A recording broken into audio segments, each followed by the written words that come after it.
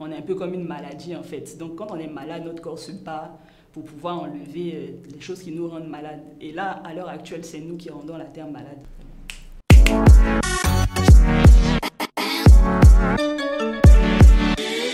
Bonjour, je m'appelle Senami Suzel Grié-Azoumé ou Sera Setep.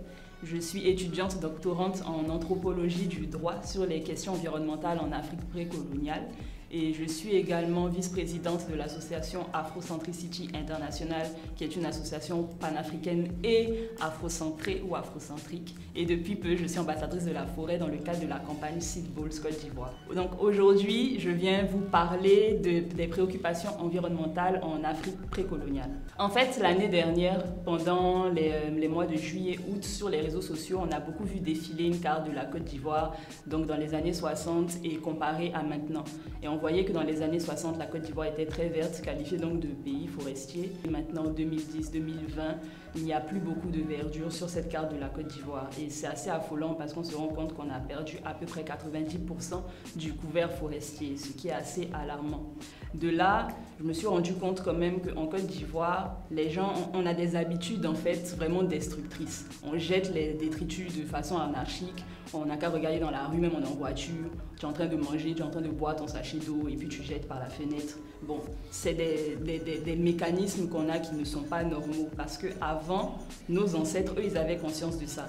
On est là, on se dit moderne, on est, on est en 2020, on est des êtres modernes, on n'a même pas cette conscience de base là. Et ça, je trouve que c'est quand même assez affolant. Parce que comment ça se vérifie tout simplement? C'est qu'à travers la culture, la spiritualité, quand on commence à s'intéresser à l'Afrique précoloniale, on se rend compte qu'à travers ça, il y avait des règles qui découlaient. Donc pour la spiritualité, par exemple, on mettait en place les forêts sacrées, les rivières sacrées, et tout ça, c'est des outils en fait de protection de l'environnement. Et quand on dit qu'une forêt est sacrée, qu'une rivière est sacrée, il en découle des interdictions, des interdictions de pêche, des interdictions de chasse, des interdictions de coupe pendant certaines périodes, etc.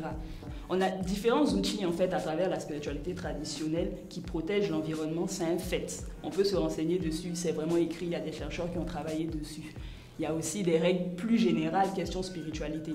Si je remonte par exemple à l'Égypte, donc l'Égypte antique, le peuple était noir, ça on va pas en discuter. À cette période-là, il y avait la mat, les 42 lois de la mat à respecter. Parmi ces 42 lois, il y a tu ne pollueras pas les eaux.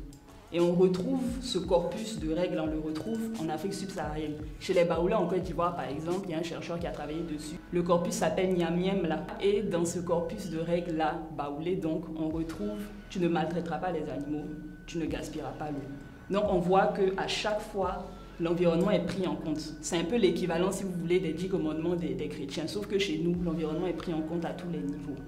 Pareil, si tu t'engages vraiment dans la spiritualité, tu vas forcément à un moment donné commencer à apprendre les vertus des plantes, euh, donc telle plante fait quoi, telle plante a quel principe, les roches, les pierres, tout ça en fait c'est un apprentissage. Donc on voit qu'il y a quand même un accord où en tout cas on essaye d'être en harmonie avec cette nature et de la respecter.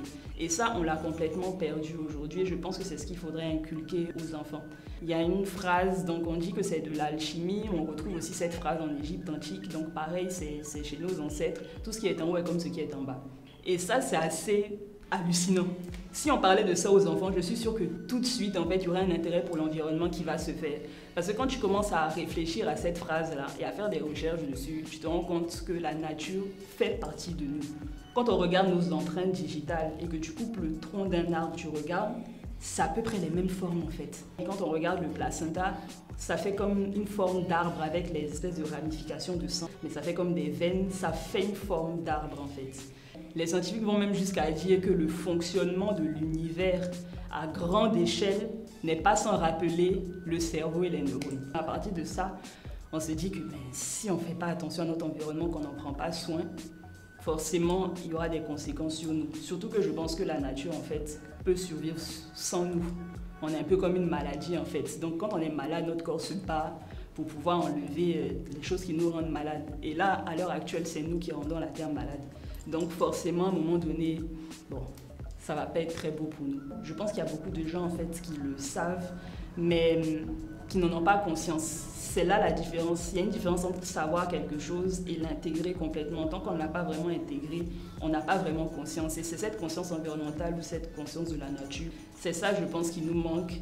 Et je pense que c'est les enfants qui sont la clé de, notre avenir en fait. Si on commence dès à présent à leur inculquer ce genre de choses, à leur inculquer que avant nos ancêtres connaissaient ça, ils protégeaient et ils savaient pourquoi. Parce que quand on nous dit souvent au village, il ne faut pas faire ci, il faut pas faire ça, nous on prend ça comme des interdits, mais en fait il y a une explication derrière. Mais souvent on ne veut pas bien nous expliquer aussi, donc on prend ça comme ça. Mais il y a toujours une explication rationnelle derrière, c'est pas juste des, des, paroles en l'air. Donc tu imagines, tu dis à un enfant de 6 ans, tu es fait de poussière d'étoiles. Franchement, moi je pense que ses yeux vont briller et il va vouloir en savoir plus. Et un peu, un peu, lui, automatiquement, en fait, il aura intégré ça, il va prendre soin de l'environnement. Les enfants sont la clé. En fait, en Afrique, on a ce principe qu'on respecte totalement, qui est le respect des aînés. C'est excellent, on n'a pas perdu ça. Mais à côté de ça, on est toujours dans la négation du savoir de nos ancêtres. Ça, c'est un gros problème. Il y, a, de plus en plus d'initiatives environnementales. C'est juste que comme on est dans l'urgence, en fait, il faut qu'il y en ait plus. Et surtout, il faut qu'on s'engage vers des choses qui sont déjà mises en place. Par exemple, moi, j'ai remarqué qu'il y a la Mob Team qui va dans les rues et qui nettoie les rues, qui ramasse les déchets. Et il y a Seed Côte d'Ivoire. Alors eux, ils sont en train de reboiser la Côte d'Ivoire. En ce moment, il y a une grande campagne. À partir de 500 francs, avec 500 francs, tu payes 5 arbres en gros. Et le projet de Seedball, c'est de reboiser le nord de la Côte d'Ivoire parce que le nord est interdit de déboisement, de coupe depuis quelques années. Donc je pense qu'en fait déjà, il faut essayer de suivre ces initiatives-là et s'engager dans ces initiatives. Moi, je pense qu'il faut retourner en arrière. Ça, moi, c'est vraiment mon engagement. C'est pour ça que je fais ces études-là. Je pense que le, le Sankofa, c'est vraiment un symbole qui est très important. Il faut qu'on regarde en arrière pour pouvoir se construire un avenir meilleur.